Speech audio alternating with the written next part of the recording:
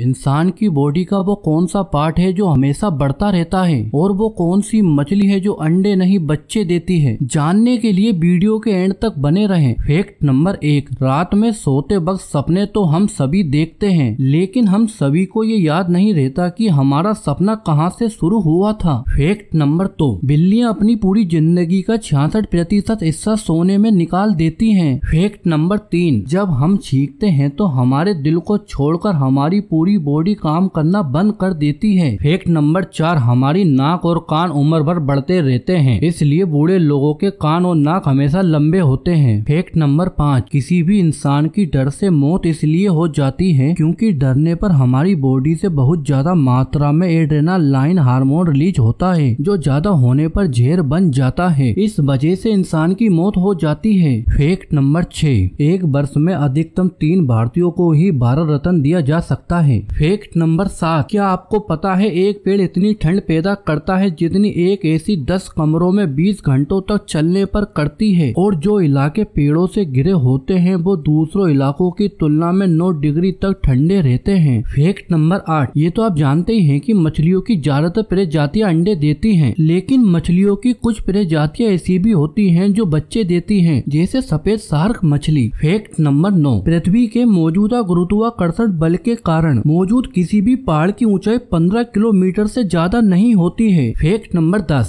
आप जो कपड़े पहनते हैं उसका सीधा असर आपके मूड पर होता है इसलिए अच्छे कपड़े पहनो और ज्यादा खुश रहो अगर वीडियो पसंद आई हो तो कमेंट करके जरूर बताइएगा और ऐसे इंटरेस्टिंग वीडियो के लिए सब्सक्राइब लाइक एंड शेयर करना बिल्कुल भी न भूलें